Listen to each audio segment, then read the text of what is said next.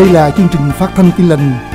Tiếng nói của chân lý, bình an và hy vọng Nhằm mục đích giới thiệu đời sống tươi mới và hạnh phúc trong cứu Chúa Giêsu Được phát sóng hàng tuần trên hệ thống mạng lưới toàn cầu. Xin trân trọng kính chào quý thính giả. Kính thưa quý vị thính giả Nhân dịp lễ tạ ơn năm 2014 Chúng tôi thành tâm cầu xin Thiên Chúa ban phước cho quý vị và quý quyến, gọi nhung hồng ân từ Thiên Chúa. Không quên cảm ơn quý vị đã dành thời giờ đón nghe chương trình phát thanh tin lành hàng tuần. Có câu chuyện kể rằng nhân dịp lễ tạ ơn, vị mục sư đến thăm một tín hữu làm nghề trồng trọt và chăn nuôi. Đến nơi ông hỏi rằng, Thưa ông bà, lễ tạ ơn năm nay ông bà có điều gì để tạ ơn Chúa chăng? Người tín đồ lắc đầu, than rằng, thưa mục sư khổ thật. Năm nay hạn hán mất mùa, cả nông trại bắp cải của chúng tôi eo ọt không ai mua cả. Chúng tôi cho heo ăn cả tháng cũng chưa hết.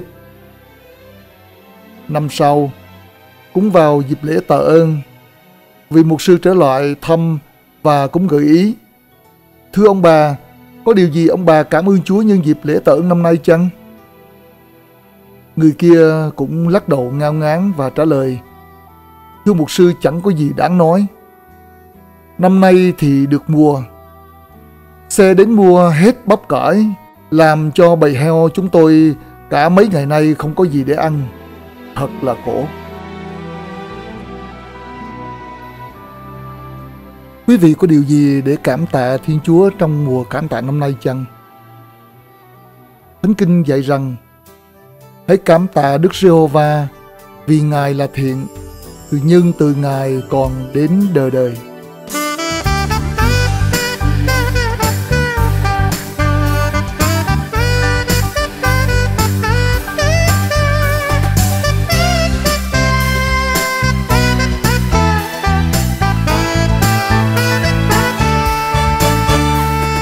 Chúa nhân từ, Chúa nhân từ trời xanh xanh biết chúa làm nên. Chúa nhân từ, thật chúa nhân từ, đại dương mang mắc bơi tay ngài. Chúa nhân từ, thật ngài rất nhân từ, quyền năng khôn ngoan ai vì sáng chúa nhân từ, thật ngài rất nhân từ, hãy hát tôn vinh danh ngài.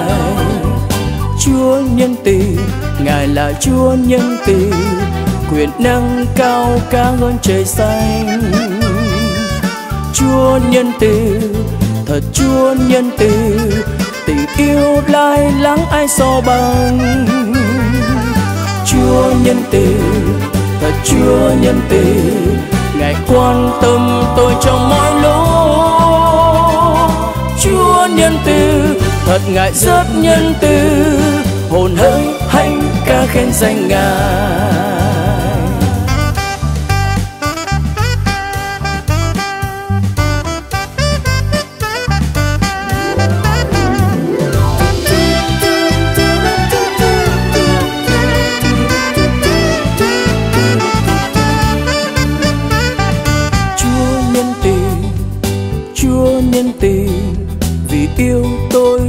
Đã hạ sinh.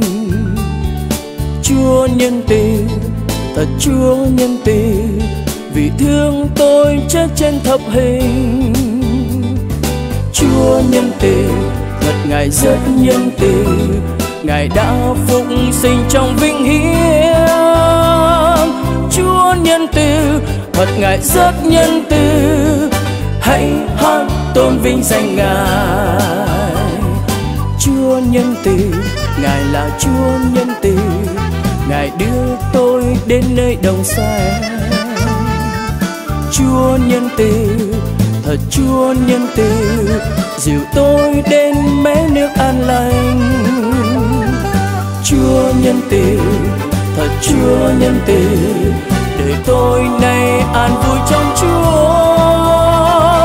Chúa nhân từ, thật ngài rất nhân từ hồn hỡi hãy ca khen danh ngài. Chúa nhân từ, thật ngài rất nhân từ. Hồn hỡi hành ca khen danh ngài.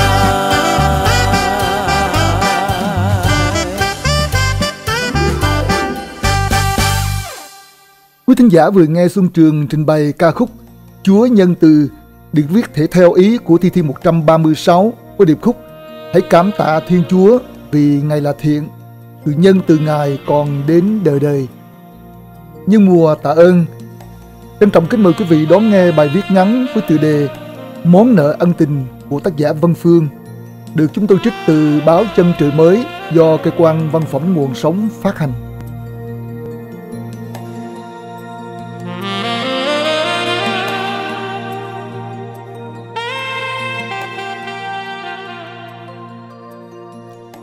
Tôi nhận thư cảm ơn từ hai cậu bé được tôi giúp tiền cho giải khuyến học ở Việt Nam ngay mùa lễ tạ ơn.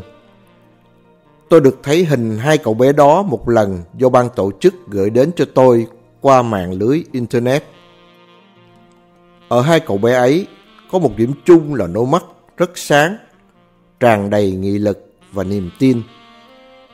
Hai cậu bé ấy có cùng hoàn cảnh giống tôi thời thơ ấu, nghèo đói, khó khăn. Nhưng lại may mắn hơn tôi là hai cậu bé ấy có Chúa, có sự bình an, tình yêu thương giữa gia đình và hội thánh. Những lời lẽ trong thư các cháu rất mộc mạc, chân thành, dễ chinh phục lòng người. Những bức thư các cháu gửi đến tôi không chỉ làm tôi cảm động, mà còn gợi tôi về kỷ niệm của những ngày thơ ấu và món nợ ân tình mà tôi chưa hề trả lại. Lúc ấy, tôi vào khoảng 11-12 tuổi và học lớp 6 của một ngôi trường nửa quê, nửa chợ gần nhà tôi. Bây giờ hoàn cảnh đất nước còn rất khó khăn và tình hình chính trị có nhiều khắc khe.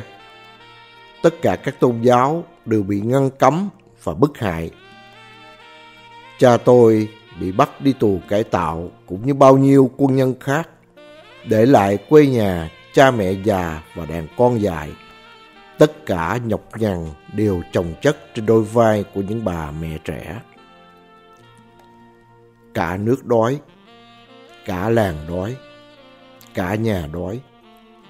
Cơn đói hoành hành từ già, trẻ, lớn bé Người ta chỉ cần kiếm thứ gì đó bỏ vào bụng để xoa dịu cơn đói từ rau cỏ, khoai sắn đến tất cả các loài bò sát, côn trùng.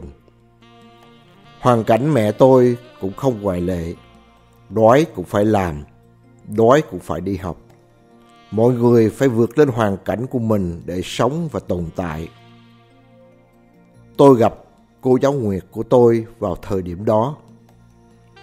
Lúc bây giờ, cô giáo Nguyệt được thuyên chuyển từ thành phố về làm chủ nhiệm của lớp tôi.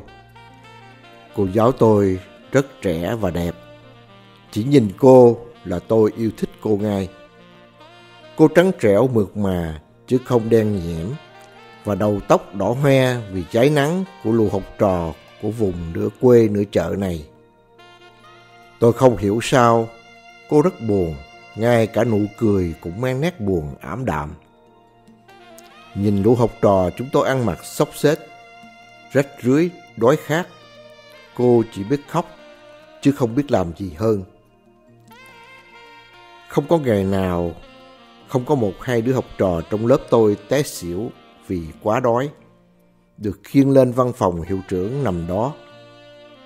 Đổ một chút nước đường vào miệng, rồi tỉnh lại trở về lớp và ngồi vào chỗ của mình. Những đứa học trò đó lại nhìn đến tấm bảng đen như nhìn vào một tương lai đen tối không lối thoát. Tôi nghe các thầy cô giáo khác cùng các anh chị học lớp lớn sầm xì với nhau. Họ bảo rằng những giọt nước mắt của cô giáo tôi là những giọt nước mắt tiểu tư sản. Nó sẽ làm cô tôi gặp khó khăn với ban giám hiệu của trường vì nó không tốt, không đúng đường lối của nhà nước bây giờ. Lúc ấy, Tôi còn quá nhỏ để hiểu ra điều đó. Nhưng tôi thấy thật không công bình cho cô giáo tôi. Lẽ nào cô tôi chỉ có tình cảm với học trò mình cũng là có tội hay sao? Mặc ai nói gì thì nói, miễn sao tôi biết rằng cô tôi thật sự yêu thương chúng tôi là được rồi. Tôi trở nên gần gũi với cô sau bài văn ngắn viết về một điều ước mơ của mình. Tôi không nhớ rõ lắm, nhưng đại khái tôi ước mình có một chiếc đũa thần kỳ của bà Tiên trong truyện cổ tích để đem đến cho các bạn tôi những thức ăn ngon và quần áo đẹp. Đặc biệt là đem đến những nụ cười trên khuôn mặt cô tôi thay cho những giọt nước mắt. Sau bài văn đó, cô gặp riêng tôi sau giờ học. Cô nói với tôi rằng giữa hoàn cảnh này mà tôi còn biết nghĩ đến người khác. Tôi có một trái tim nhân hậu làm cho cô thật sự cảm động. Từ đó, cô luôn giữ tôi lại ở trường sau giờ học. Hai thầy trò lui hui xếp những viên gạch ống, bắt nồi và nấu cơm ăn với nhau. Tôi biết cô hiểu hoàn cảnh tôi quá nghèo, nên muốn chia với tôi phần ít ỏi của mình. Những bữa cơm của thầy trò tôi chẳng bao giờ có được miếng thịt, miếng cá, chỉ là mắm muối, dưa cà mà sau mãi tới bây giờ tôi vẫn còn cảm nhận được hương vị ngọt ngào của nó. Cô luôn xẻ cơm trong chén mình vào chén tôi và bảo Em ăn nhiều, chút đi. Chiều về nhà đâu có cơm mà ăn. Ăn để ráng sống, để còn có ước mơ, còn có thể giúp gì cho đời. Tôi ngây thơ hỏi cô. Cô cũng ăn để sống, để dạy dỗ tụi em nữa. Nước mắt cô lưng tròng. Cô vuốt lấy mái tóc tôi và nói, cô không còn hy vọng. Con đường cô đi thật không có lối thoát. Cô chiến đấu trong trận chiến cô đơn, không mục đích và cũng không có tương lai. Tôi hiểu hết những lời cô nói lúc ấy, nhưng tôi biết cô rất cô đơn và chẳng có niềm tin cho tương lai. Suốt một năm học đó, đi đâu cô cũng mang tôi theo. Cô xem tôi như con của mình, nhưng tôi chẳng giúp được gì cho cô. Càng lúc, cô càng khẳng khiu xanh xao và càng buồn hơn. Tình hình đói kém càng lúc càng trầm trọng. Tiếng than oán khắp nơi mà nào có ai nghe. Các bạn tôi ngày càng đến trường thưa thớt hơn. Chúng nó phải ở nhà để phụ giúp gia đình, làm bất cứ việc gì từ mò cua, bắt ốc, mót lúa, mót khoai để không phải chết đói. Cô giáo tôi lén cắt thật nhỏ tiêu chuẩn bánh mì mỗi sáng của mình cho lũ học trò đói khát. Đôi lúc, mỗi đứa chỉ còn có một mẫu bằng đốt ngón tay, chỉ đủ để chúng tôi thòm thèm suốt ngày học. Nhưng rốt cuộc, cô cũng phải bỏ lại chúng tôi mà đi. Cô không nói với chúng tôi một lời từ biệt, chỉ lặng lẽ ra đi mà không trở lại. Tôi nhớ cô đã ngồi bên tôi rất lâu dưới gốc cây me tây già sau trường. Cô vuốt mái tóc đỏ hoe, đầy mùi khét nắng của tôi. Đó là vết tích của những buổi trưa lặn lội nhổ bông súng để bán kiếm chút ít tiền phụ mẹ mua gạo cho gia đình. Cô nói rằng cô mong tôi sẽ có một tương lai tốt. Cô nói cô tin cha tôi sẽ trở về và đời sống chị em chúng tôi sẽ tốt hơn. Năm tháng trôi qua, khi gia đình tôi gần như kiệt quệ. Chúng tôi ngã quỵ trước những cơn đói hoành hành, thì cha tôi trở về mang theo niềm tin nơi Chúa. Chính niềm tin đó đã vực gia đình tôi đứng dậy làm lại từ đầu. Trong sự ban cho, tiếp trợ hàng ngày của Chúa, chúng tôi không còn bị đói. Từ khi có Chúa, tâm hồn tôi được đổi mới. Tôi không cảm thấy cô đơn sợ hãi vì Chúa luôn ở bên tôi và Ngài là đấng nắm giữ quyền hành trên vũ trụ. Và điều ngọt ngào nhất là tôi học được nơi Ngài tình yêu thương, một tình yêu tuyệt đối, một tình yêu vô điều kiện. Trong tình yêu của Chúa, tôi lại nhớ đến cô giáo tôi nhiều hơn, rồi gia đình tôi đến Mỹ. Chúa đã đưa chúng tôi đến đất nước dư đầy thực phẩm. Tôi từng chứng kiến những buổi tiệc đã tàn mà thức ăn bỏ đi có thể nuôi được cả lớp của tôi qua những ngày đói kém. Nhưng lúc đó tôi đã khóc và cầu nguyện trong sự cảm tạ cũng như thương xót cho đất nước tôi. Có lẽ vì thương cô giáo nên tôi đã bước theo con đường cô đã đi. Tôi tham gia công tác từ thiện và giúp đỡ các học sinh nghèo ở Việt Nam. Nhưng điều mà tôi nối tiếc cho đến bây giờ là chưa một lần nào tôi biết được tin hay gặp lại cô giáo tôi. Ngày trước tôi còn quá nhỏ, bất lực trước nỗi buồn, lo thất vọng của cô giáo tôi. Nhưng bây giờ tôi đã có được lời giải đáp. Tôi thiết tha muốn nói với cô về tình yêu của Chúa Cứu Thế. Một tình yêu sẽ nâng cô lên để cô không bao giờ thấy cô đơn, không bao giờ thất vọng. như sông dài ngút ngàn, đời sông mãi lang thang. Như con thuyền vô định mãi mãi lênh đênh. Như chim xòe cánh dài, vượt trông dương xa thăm ta nghe mình nhớ lại, giữa cuộc sống cuồng phong kìa chúa đã cho ta, tình chúa rất bao la. Đời sống mãi hoan ca, như dòng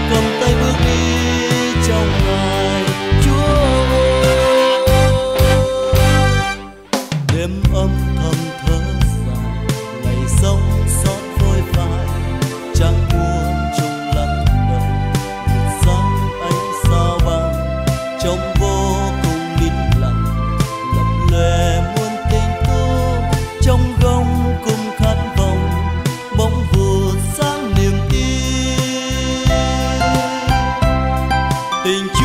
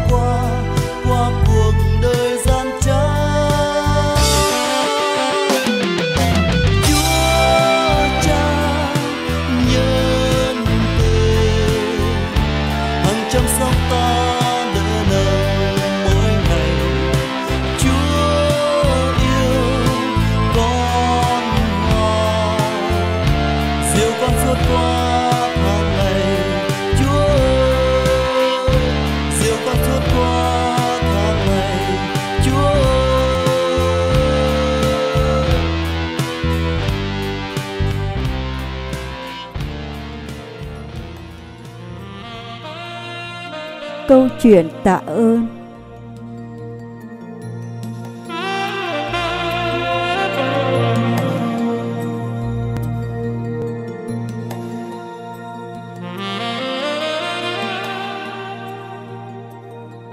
Đó là lễ tạ ơn đầu tiên các con tôi thiếu mặt cha. Anh và tôi đã chia tay nhiều tháng trước. Ngày mai là lễ, nhưng hai đứa con nhỏ đang bị cảm cúm. Còn đứa lớn nhất cũng đã nghỉ bệnh cả tuần lễ qua. Hôm đó trời xe lạnh với cơn mưa phùn rơi nhẹ bên ngoài. Quay mòng chăm sóc cho ba con. Tôi mệt lả cả người. Liên tục thay tã, đo nhiệt độ, cho con uống nước trái cây. Tôi mới biết ra nhà cạn kiệt thực phẩm cho các con. Lục lọi trong ví, chất mốt tất cả được khoảng 2 đồng 50. Đây là số tiền duy nhất cho các con và tôi sống còn đến cuối tháng. Lòng tôi đang dối bời thì chuông điện thoại reo lên. Đó là cô thư ký từ ngôi nhà thờ, nơi chúng tôi từng đến thờ phượng gọi đến. Cô hỏi thăm rồi nói rằng mọi người luôn nghĩ đến gia đình tôi. Họ có món quà muốn biếu chúng tôi. Tôi nói với cô vì mình cũng cần đi chợ để mua một ít nước trái cây và súp cho các con. Nên trên đường về sẽ ghé qua nhà thờ gặp cô. Tôi đến nhà thờ ngay trước giờ ăn trưa. Cô thư ký đón tại cửa, trao cho tôi một phong bì rồi nói Chúng tôi luôn nhớ đến chị cùng các cháu và thường xuyên cầu nguyện. hồi thánh ưu quý gia đình chị lắm. Mở phong bì ra, tôi thấy có hai phiếu tặng thực phẩm. Mỗi phiếu trị giá 20 đồng. Tôi thật sự xúc động, lòng tan vỡ, bật lên khóc. khi ôm siết nhau. Tôi cảm ơn cô và nhờ cô chuyển đến hội thánh tấm lòng yêu thương và sự biết ơn của tôi. Sau đó, tôi lấy xe đến tiệm gần nhà, mua thức ăn cần thiết cho các con. Đến quầy tính tiền với các món thực phẩm, tốn khoảng hơn 14 đồng. Tôi đưa cho bà Thu Ngân một phiếu quà tặng. Bà cầm lấy phiếu, rồi xoay lưng lại tôi trong một lúc khá lâu. Tôi nghĩ có điều gì đó không ổn, nên đành phải giải thích cùng bà. Phiếu quà tặng này thực ra là một phước lành. Số là nhà thờ cũ của tôi đã tặng cho gia đình chúng tôi. Vì họ biết tôi một mẹ nuôi con nên giúp cho lúc có cần. Quay lại, sàn rùa trong nước mắt yêu thương, bà nói. Cưng ơi, tuyệt vời quá. Em có gà tây chưa? Dạ chưa, nhưng cũng không sao vì có con em đang bị bệnh. Em có các món khác cho đủ ăn lễ tạ ơn chưa? Thưa chưa? Sau khi đưa lại tiền thối, bà nhìn vào mắt tôi và nói Cưng à, chị không biết phải nói sao bây giờ. Nhưng chị muốn em trở vào chọn một con gà Tây. Nước sốt Việt quất, bánh mì đỏ hoặc bất cứ món gì khác mà em cần cho bữa ăn tối lễ tạ ơn. Tôi lại bị sốc Lòng được thương cảm muốn trực khắc hòa.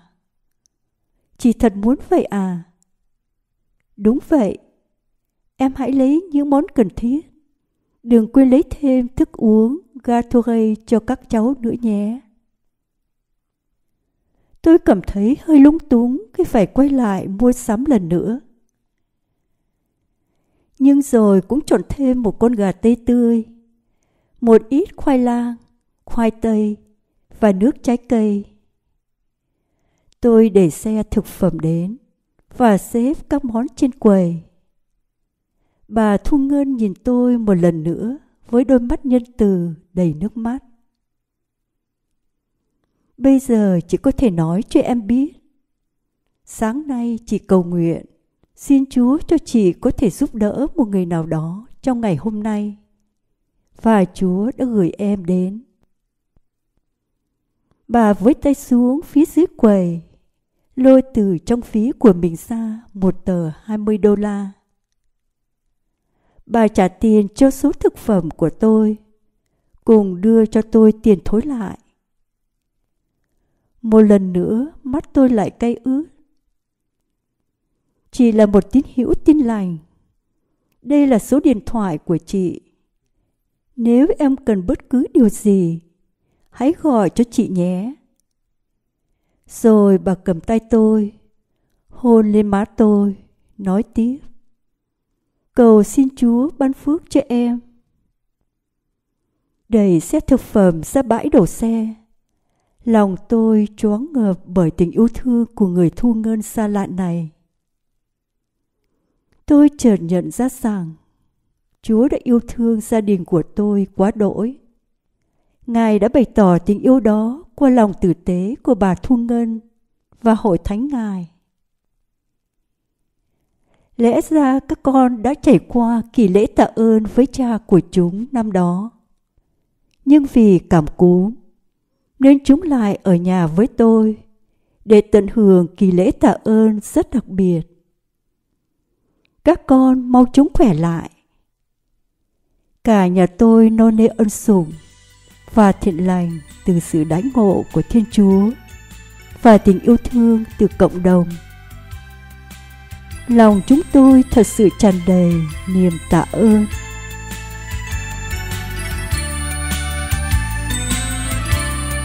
Xin tạ ơn Chúa đã ban cho tôi một đời tự do.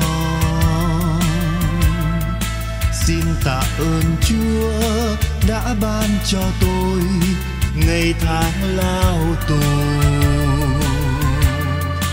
Xin tạ ơn Chúa, dù đường đời có lúc gian truân, để dọn lòng sám hối ăn năn tạ ơn thiên chúa không lời oán than. Xin tạ ơn chúa đã ban cho tôi một thời hoàn nhiên. Gia đình đầm ấm, sống vui yêu thương, ngày tháng êm đềm. Xin tạ ơn chúa về mọi điều chúa đã cho tôi. Dù một ngày mắt nhắm tay xuôi, hồn tôi ca hát, tạ ơn chúa thôi. Tôn vinh giêsu tạ ơn chúa tôi. Trong cơn đau thương, dòng nước mãn rơi, khi lâm hoàn nạn phiền cây đắng trong đời. Trong cơn phong ba, dòng sông cuốn trôi, nương nơi Giêsu hồn tôi thánh thơi. Tâm tư nhẹ nhàng, tràn ngập ơn phước trên trời. Xin tạ ơn Chúa dắt đưa tôi qua chặng đường nguy nan xin tạ ơn Chúa giúp tôi yên vui dù trong cơ hàn xin tạ ơn Chúa dù người thù bắt bớ vu oan. Nguyện cầu ngài cứu giúp lo toan. Tạ ơn thiên chúa trong lòng hân hoan Quý thính giả đang đón nghe ca khúc ca khúc Tạ ơn tôn vinh của nhạc sĩ Vũ Đức Nghiêm và ca khúc này đã chấm dứt chương trình phát thanh tin lành nhân dịp lễ Tạ ơn năm 2014. Chúng tôi cũng trân trọng kính mời quý vị đến với các hội thánh tin lành Việt Nam nơi quý vị đang cư ngụ để cùng thờ phượng và thông công với chúng tôi nhân dịp này. Chúng tôi cũng trân trọng kính mời quý vị đón nghe các tài liệu phúc âm chọn lọc khác tại các địa chỉ trên trang mạng sống đạo online.com hướng đi .tv Trước khi từ giả, một lần nữa chúng tôi cầu xin Thiên Chúa là đấng mà Thánh Kinh đã làm chứng rằng Ngài là thiện, sự nhân từ Ngài còn đến đời đời. Ban phước cho quý vị và gia đình nhân dịp lễ tạ ơn năm nay được gọi nhung hồng ân từ chính Ngài. tôn vinh Giêsu tạ ơn Chúa tôi. Trong cơn đau thương, dòng nước mắt rơi. Khi lâm hoàn nạn, muộn phiền cây đắng trong đời. Trong cơn phong ba dòng sông cuốn trôi nương nơi Giêsu hồn tôi thánh thơi. Tâm tư nhẹ nhàng, tràn ngập ơn phước trên trời. Xin tạ ơn Chúa, dắt đưa tôi qua